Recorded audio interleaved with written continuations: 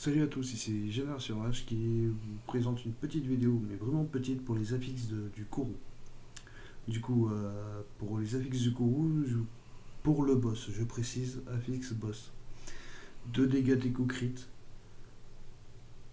Donc un dégât d'écho crit, un dégât d'écho crit comme vous pouvez voir sur l'écran. Physique et dégâts. To crit, cadence de tir. Attention, je préfère prévenir d'avance. Pour des games normales, ce ne sont pas les bons affixes. Voilà, du coup, euh, voilà, bah, je vous laisse euh, regarder et je vous dis à bientôt. Salut